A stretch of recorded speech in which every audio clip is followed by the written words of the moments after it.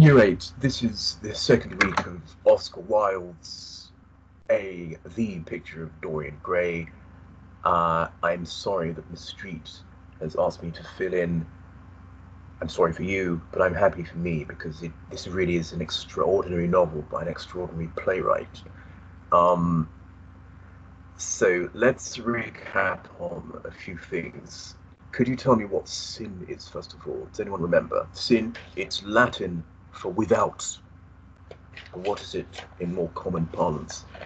Uh, sin basically means a turning away from God. In brief terms, it means evil. Um, if you are in a state of sin, you're without grace, you are without God's sympathy. But how did John Proctor sin? You remember the um, the play, The Crucible, from uh, many months ago. How did John Proctor sin? I remember his wife was un- upset but loyal because John had had an affair with his one of his neighbors, Abigail. So, thou shalt not commit adultery is one of the seven sins. Um, or adultery is one of the seven sins. Hedonism, then, last lesson. What does that mean? If you've forgotten, it means you are living for pleasure. And how might hedonism affect a young man? So let's think about the physical and psychological effects of hedonism. So first, if you're hedonistic, you live for pleasure. You might drink a lot of alcohol. You might stay up late. You might have have a lot of affairs. Um, you might eat a lot if you like. How how might it affect you? Let's look at social. Let's look at your reputation.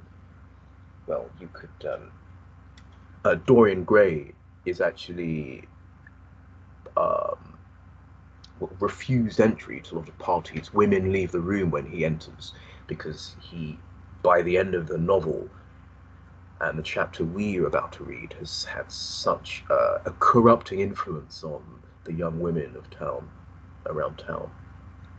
Um, so he would have had affairs with them and and and left them alone, um, therefore spoiling their reputation among other men. Um, you could also drink a lot and spoil your body, uh, become dehydrated, unhealthy, fat.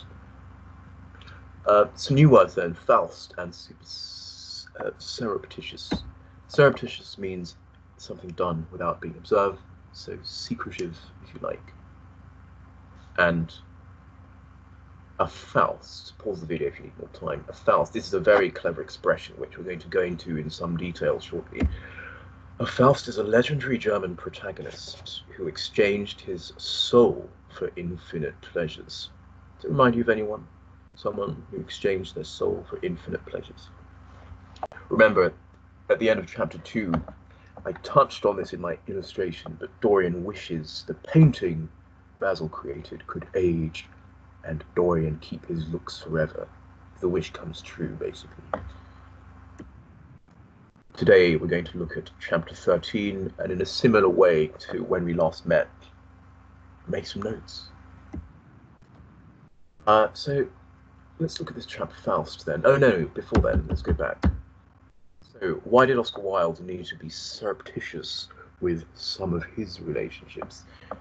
Remember we discussed Oscar Wilde being renowned or being infamous because of uh, some relationships he had. He was jailed in particular for, for one relationship with Alfred Lord Douglas. Um, and how does hedonism link to sin? If you want some clues for the answers of those to those, then rewind the video about two, uh, a minute or two.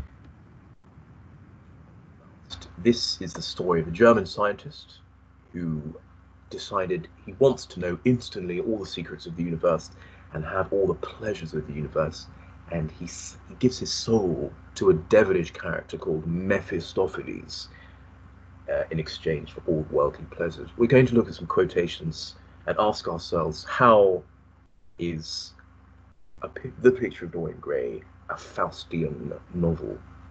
Then I'm going to ask you to write about fear and tension in chapter 13. here's Faust, a German scientist. There's a chap called Mephistopheles in the background and he promises to give Faust access to all the pleasures that a tired old man would want to live, as embodied in the young lady on the top left. So they both together seduce a woman called Margaret, break her heart, just as Dorian Gray does to a, a girl, a young actress called Sybil Vane. And Faust feels terribly guilty about it, yet they carry on experiencing all worldly pleasures of knowledge. There's another image of Mephistopheles. This he comes, uh, he dresses well. Um, these seductive characters are usually framed in fine coats, uh, velvet, and the two of them uh, take part in this seduction of Margaret. So he embodies everything that's uh, vivacious, happy, jolly, attractive, and worldly, that's to say, uh, open to all worldly pleasures. Uh, here is a statue somewhere in Germany. Something's blocking my screen, but it's a censer scene in something of Goethe's, something rather Mephisto, Mephistopheles, um, and it's the Mephistopheles. It's actually Verzicht or something. Mephist- Mephistopheles seduces his student. There's Faust, the titled man, is going to be a lot happier, but ultimately he's going to lose his soul. So let's summarize the story of Faust. Uh, God says to Mephistopheles, Do you know this chap called Faust? And God says, He's my servant, which means he's a loyal person. Um, Dorian Gray in the story only says that religion is interesting because it looks pretty, but it's ultimately boring. Mephistopheles says, Yes, he serves you in a particular manner. There's no earthly food or drink at that fool's dinner, which means Faust is well behaved. He doesn't drink much wine. He has a good self denying diet. He uh, mortifies his soul, if you like, which means he likes to restrain his appetites. Mephistopheles bets God that he that Mephistopheles could take Faust's soul. I might win him, I might win his soul. Then Mephistopheles complains, I've done philosophy, I've finished law, theology, I've taken fierce pains from end to end, but I'm no wiser than I was before. So Faust says, What's the worth what's what's the point in spending all this effort when there's still so much to learn? Uh, a scientist might think this about space he might sell his soul to learn about all the secrets of the universe. It's a very tempting idea for Faust. Uh, at a very basic level, it's I suppose it's the the idea of whether or not you want to cheat on your homework, have instant success, or take the hard route to success. But look at the similarities. Suddenly they had come across suddenly there had come someone in his life, Dorian's life, who seemed to have disclosed to him life's mystery. Let's look at the similarities between them, between Lord Henry and uh, and and Mephistopheles. Someone who can disclose to him life's mysteries. Faust says, "I'm no wiser than before." Lord Henry says, "I can make you wise. I can disclose the mystery of beauty." Um, so Faust, gazing at the symbol, how each to the whole world itself as gives, one in another works and lives, how heavenly forces fall and rise, golden vessels pass each other by. 450 is just the line numbers, so ignore these numbers where I've accidentally left them in. Um, so remember, Lord Henry says, don't squander the gold of your days. That's the instruction. Mephistopheles my friend, you will win more for your senses in an hour than in a whole year's monotony. What the tender spirits sing, the lovely pictures they bring. So you are going to feed your senses more in an hour than you would have done in your entire life a whole year. Uh, look at how Mephistopheles talks about the senses, pleasing the senses, and now look at Lord Henry saying the secret of life is to cure the soul by means of the senses. Interestingly, Oscar Wilde himself said that the church who cured him from his degeneracies the artistic side of the church and its fragrance and delicacies would have cured my degeneracies. He wrote to a journalist, or he said to a journalist. So the incense, um, the music, the chanting, the bells, the the tapestries and some paintings would have been a cure to him because his soul, his senses would have been at ease. So this is one way that Dorian Gray is a Faust. It's the idea of pleasing your senses that he covers. Um, Faust complains, abstain, which means deny. What can the world bring me again? Abstain, you shall, you must abstain. That's you. That's the eternal song. So he grumbles that uh, religion is restricting, restraining his appetites. Um, Mephistopheles says in bold, I mean to show you what no man has seen. Basically, one of the great secrets of life, or one of the mysteries. of life. Mephistopheles, could we argue that he represents, well, who? Anyone? Who do you think Mephistopheles is representing? I mean to show you what no man has seen. Who and Dorian Gray?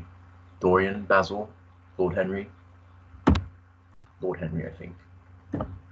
Uh, suddenly there had come someone, of course it's like who seemed to disclose life's mysteries, who's looked at that already. So Faust says, yep, go for it. Snare me with luxury, entrap me with luxury. Let that be the last day I see. I'll give you my soul in return. Mephistopheles says, done. Go and seduce and learn about all sorts of things. Um, Dorian Gray buys, uh, he buys several literature books. He buys, he studies perfume. He travels. He has he owns about three homes, and has parties, and has musical concerts with strange instruments. Gets involved in embroidery. Basically learns, studies, and buys everything he wants to uh, he adds modes by which he could escape, it's called. Um, yes, there was a, uh, and I touched on the book called A Rebours, which is about a character who leaves Paris for a home which he decorates purely to please his senses. Um, so, if it were I who was to be always young and the picture was to grow old. For that, for that I was good give everything. This is Dorian Gray at the end of chapter two. I would give everything if the picture could age. There's nothing in the world that I would not give. I would give my soul for it. Who does that remind you of? Who is Dorian Gray reminding you of here? I would give my soul to always be young. Something that no man has seen. Who does it remind you of? Yes. Faust. Uh, so Mephistopheles says, Do as you wish. There's no measure, there's no limit. Nibble at everything, feast on everything. Notice how pleasure is associated with ingesting things, tasting, eating. Catch all fragments while you're flying. Enjoy it all. Enjoy it all. Who does that remind you of? Marie, I think. Remember, don't squander the gold of your youth. Live while you can. Don't waste your lilies and roses. Enjoy it. Um, art is long, time is short, art is long. Remember the idea of the aesthete who believed that you should live for pleasure, you should live for creating art. La, la, uh, art for art's sake. Uh, interestingly, uh, when Dorian Gray kills Basil, he does later, um, he takes out a book to relax uh, and that book is written by Gautier, who wrote this phrase, art for art's sake, invented it. L'art pour l'art. So live the wonderful life that's in you. Let nothing be lost upon you. Be always searching for new sensations. Be afraid of nothing, says Lord Henry. Nibble at everything, enjoy it all. What are the similarities between these two? Be always searching for new sensations. Live live, enjoy it all. We can see the similarities. Uh, so basically, Faust uh, dies. He gives his soul. He's taken down to hell. Uh, he realizes, I sped through the world that's there, gripped by the hair, every appetite. But um, on the last line, he says, Why does he need to roam eternity? Men don't really need to know everything. He's feeling a bit guilty about what he did to Margaret. Great, important story. So, uh, subheading, please, could you write, to what extent is the picture of Dorian Gray a Faustian tale? So please write this down, underline it. To what extent is the picture of Dorian Gray a Faustian tale? Okay, so a lot of you out there thinking that's quite a hard question to answer. I've given you a frame, actually. There are many similarities between Faust and the picture of Dorian Gray. For example, if you're happy enough to continue write, writing that, rewind the video and push on. But if you aren't, then stay with me. Uh, I've given you the first half of the answer. Firstly, Mephistopheles urges Faust to enjoy it all. This evokes the wisdom of Lord Henry, who urges Dorian to. So, what's Lord Henry's version of enjoy it all? So that's the first part of the lesson done. To what extent is the picture of Dorian Gray a Faustian tale? Um, well, I'm afraid I can't wait for you to write the answer down. Pause the video for a moment we'll push on to the second half. Uh, we're going to read chapter 13. I'm going to jump out of PowerPoint, make some notes with you. We'll read it in three sections. Uh, keywords parody, comic imitation, ignoble, shameful. Satire means mockery. Satyr, which is a half man, half goat, I think. It's a mythical, ugly creature. Uh, threadbare means worn. Leprosy is a disease. Uh, uh, there's some laburnum from last lesson. Uh, so, by the way, does anyone know what happens to Dorian's soul? So, yes, youth had spoiled him by the end of the novel. That's the idea that living as if he's a young man has destroyed his reputation.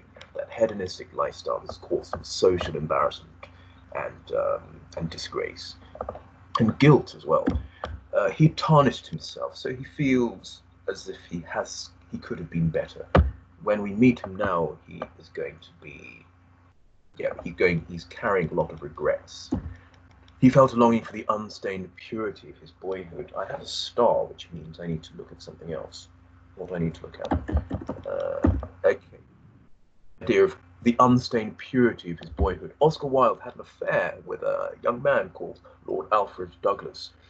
Um, I suppose it wasn't unusual, but it was illegal to have intimate relationships with men. And um, unfortunately for Wilde, Lord Alfred's Doug, or Lord Alfred Douglas's father was the Earl of Shaftesbury, uh, who had him arrested into jail for two years in Reading. Um, but he wrote, Oscar Wilde wrote from jail to his former boyfriend and said, um, urged him not to pretend. He said, Lord Douglas, don't pretend that you're this unstained um, innocent boy, the morning dawn of boyhood with its delicate bloom, its clear blue light, its joy of innocence and expectation, you, my friend, had left far behind. So you're no longer the, the clear, you no longer shine with clear, pure light boyhood or innocence. You've left that far behind. So here's a quotation from Dorian Gray. He felt a longing for the unstained purity of his boyhood. So it's, the, it's this idea that sin stains, tarnishes, damages your soul. And the painting that Dorian Gray is by now hidden away is damaged because it reflects his own misbehavior and his sin. Uh, they say he sold his soul for a pretty face, says a, uh, an old woman. Um, really, it's implied she's a prostitute uh, who says that I know Dorian Gray. He comes around these parts a lot of uh, off, often. Uh, I should say he uh, he visits these parts often. And um, they say he sold his soul for a pretty face. So that Dorian Gray is known in very disreputable parts, yet he manages to walk around as if he's unstained, unspotted, uh, innocent. Let's. Uh, so, could we have a subheading? And how does Wilde create fear and tension in this scene? Um, so if you're in one of the higher sets, I suggest you write this question down. If you're one of my students, I suggest list examples of fear and tension in this scene. So my people, please list examples of fear and tension in the scene. I'm going to give you a list of things, it's actually the same as I'm going I'm giving to the other class. But if you're if you're Miss Street or whoever else teaches year eight class, then how does Wilde create fear and tension in the scene? Uh, so I will need a P, uh, Dale walked paragraphs, I suppose. So we're going to look at Gothic tropes, which means Gothic uh, themes, techniques, darkness, a tone of discomfort. Tone is where. Do you know what tone is? It mean ringtone or a um, tone in music. A tone in literature is where a writer shares the feelings of a narrator with the writer. So it's it's worth to give you a feeling. So tone of discomfort, similar to atmosphere, I suppose. Surreptitious actions. You know what surreptitious? Do you remember what surreptitious means? Yeah, those secretive actions. Symbolism, pathetic fallacy. Basically, you referring to the weather and adjectives. Descriptive. Wow. Okay, 20 minutes. So let's try and fly through scene one. Scene one is about suspense. Scene two is the revelation and we're going to read the third section. My apologies, this should say number three. The third section is recognition. So I'm going to pause after each of these sections. And let's fly over now to words. No, that.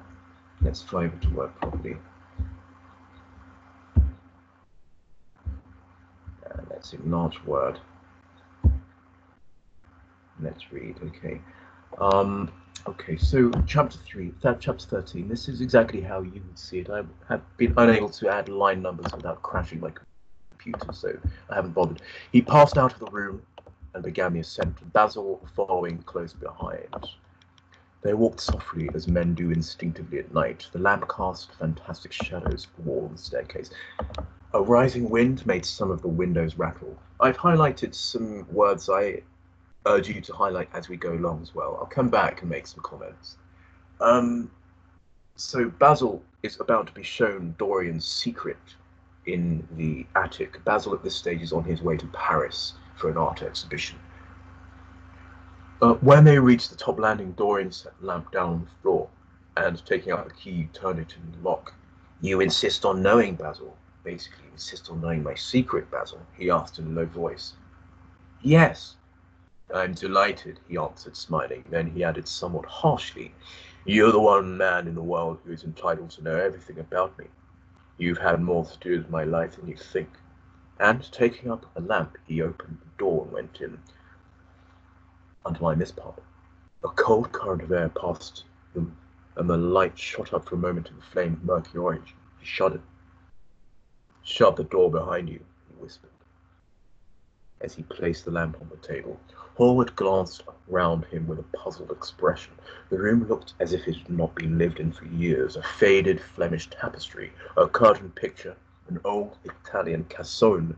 Uh, a cassone is a chest, and an almost empty bookcase that was all that was all that it seemed to contain, besides a chair and a table. As Dorian Gray was lighting a half-burnt candle that was standing on the mantel shelf, he saw that the whole place covered with dust and that the carpet was in holes.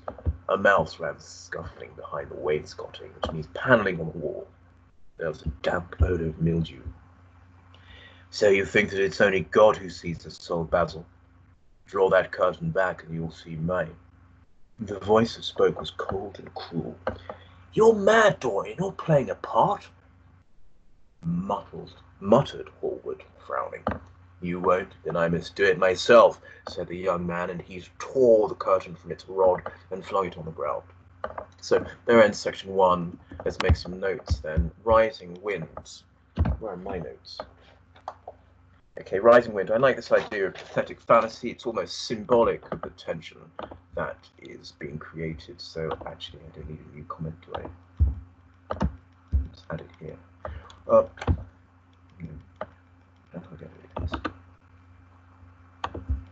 delete, delete. Let's work on this one. Uh, so yeah, it's pathetic fallacy. It almost serves as a warning to Basil that something bad is about to happen. Pathetic fallacy. creating, let's say, creating suspense, warning, perhaps. So add notes with me as we go along. So pathetic fallacy, creating suspense or warnings. A rising wind makes some of the windows rattle. Uh, you could also add a tone of discomfort to windows rattling, I suppose. So a cold current of air passed between them. What can we say about this? Well, this creates a tone of discomfort.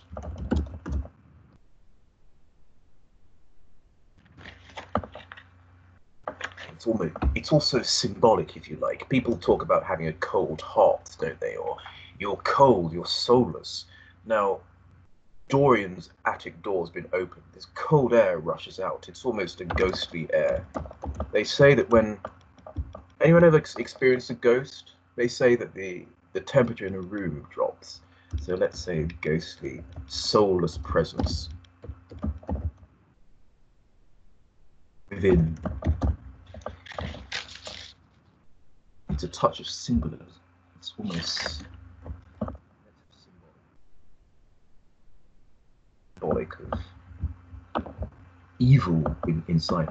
So uh, Hallward glanced around him. The room looked as if it had been. Look at how in this sentence we have faded, damp, old, also, I think, threadbare, covered with dust, uh, carpet in holes. This is a vernacular. This is a series of words we don't usually associate with uh, Dorian Gray. He's usually immaculate. He is usually well dressed. But this neglected, faded, unkempt atmosphere is really what's happening inside Dorian's soul. He has neglected his soul. So it's symbolic. Dorian's soul.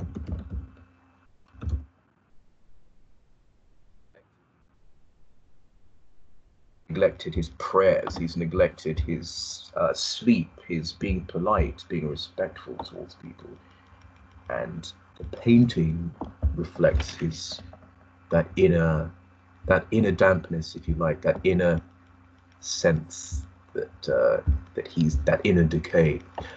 He's described as the voice, being cold and cruel, not Dorian. It's he's almost unrecognizable by being described as a voice, as the voice. So let's call him cold and cruel. Um, this is an adjective.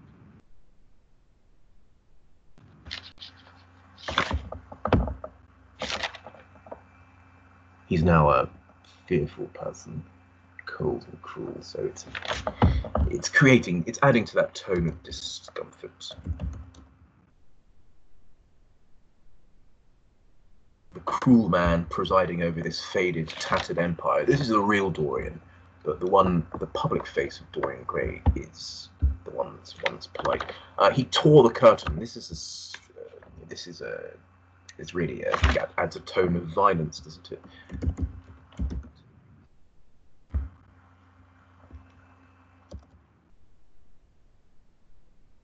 Fear and tension. I think it's here suddenly, suddenly fearful moment where Dorian says, "Well, if you won't open the curtain, the curtain covering the paint portrait, then I'll tear it away." So Dorian suddenly losing control or at least portraying a more vicious side. Uh, I suggest we we have time, I think, to read one more section. I'll say section three, enough time. An exclamation of horror broke from the painter's lips as he saw in the dim light the hideous face on the canvas, canvas grinning at him. There was something in the expression that filled him with disgust and loathing. Good heavens, it was Dorian Gray's own face he was looking at, the horror, whatever it was had not yet entirely spoiled that marvellous beauty. There was still some gold in the thinning hair. Gold! Ladies and gentlemen, do you remember who calls beauty gold? Do you remember who said, don't squander the gold of your days? Anyone, can I hear you? Don't squander the gold of your days? Did someone say Lord Henry? You're absolutely right. Uh, there was still some gold in the thinning hair. So even though Dorian Gray looks ugly, there's still some gold in the thinning hair and some scarlet in the sensual mouth. The sodden eyes had kept something of the loveliness of their blue. The noble curves had not yet completely passed away from chiseled nostrils and from plastic throat. I was quite impressed at this plastic in Victorian times. Uh, there, yes, it was Dorian himself. But who done it? He seemed to recognize his own brushwork, and the frame was his own design. The idea was monstrous, yet he felt afraid. He seized the lighted candle and held it to the picture. In the left-hand corner was his own name, Basil, traced in long letters of bright vermilion, which is a sort of greeny blue. It was some foul parody. Do you know what parody means? imitation. It was some foul parody, some infamous, ignoble satire. Remember, infamous means uh, famous for bad things, ignoble, shameful. He'd never done that. Still, it was his own. It was his own picture. He knew it, and he felt as if his blood had changed in a moment from fire to sluggish ice. His own picture. What did it mean? Why did it alter? He turned and looked at Dorian Gray with the eyes of a sick man. His mouth twitched, and his parched tongue seemed unable to articulate. I should have. I, I wanted to make parched. It won't let me. We'll do it later. Uh, he passed his hand across his forehead. It was dank with clammy sweat. The young man was leaning against the mantel shelf.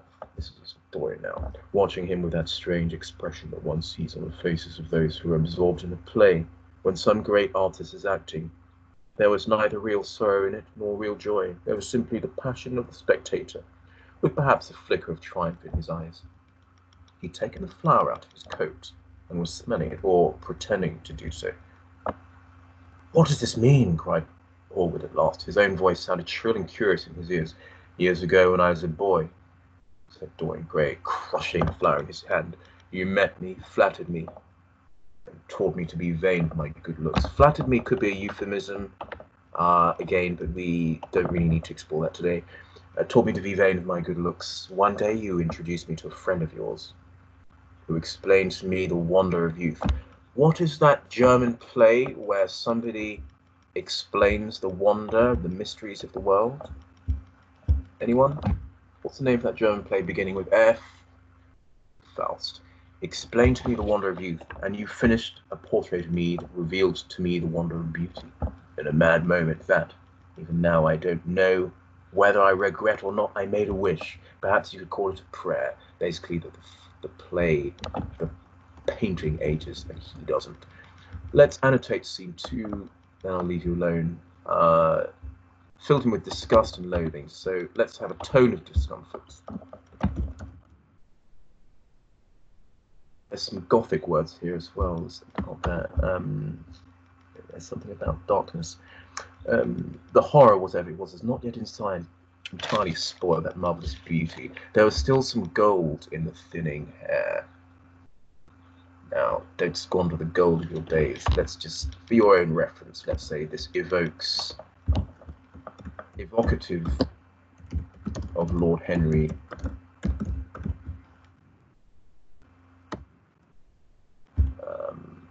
Yes, thank you. So the idea down here, the idea is monstrous, yet he felt afraid, fear and tension.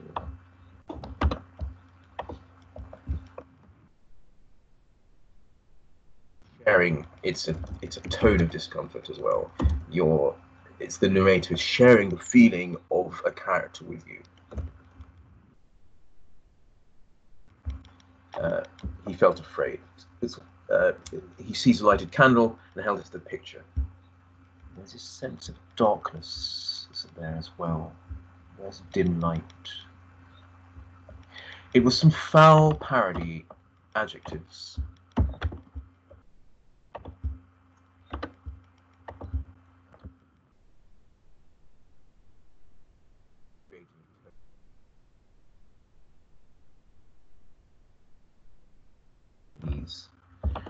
uh, foul parody. Some uh, you know he's taken now down here where Dorian Gray removes the flower his, from his coat.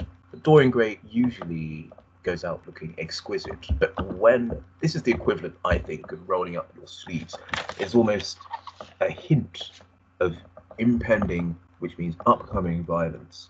So it's symbolic. He's removing that aesthetic, aesthetic personality, persona, and he wants to put on a more violent, functional uh, attitude because he's about to do something quite violent. So, um,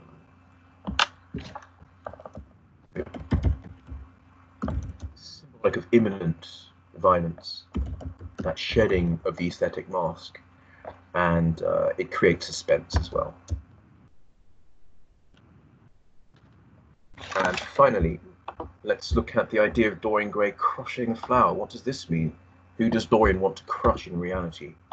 So symbolically, he crushes a flower, but symbolically, so it uh, another piece of symbolism.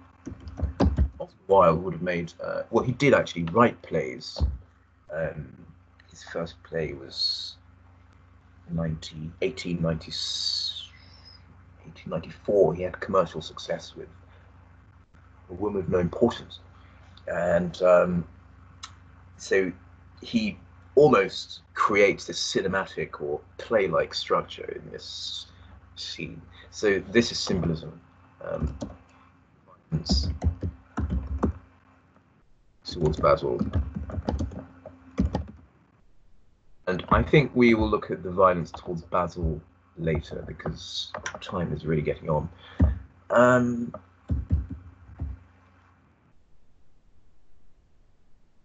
do the revelation next time, I think. So let's jump back over to PowerPoint. I'll leave you with the questions to get on with and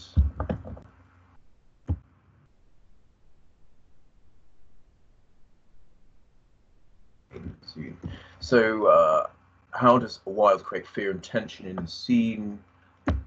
Write about Gothic tropes, darkness, tone discomfort, surreptitious action, symbolism, use the pathetic fallacy and adjectives, and so on. If you are one of my students, simply list examples of fear and tension in the scene we've just covered. And finally, who in the novel represents Faust, the German scientist, who wants to see everything that man shouldn't see. See you again soon.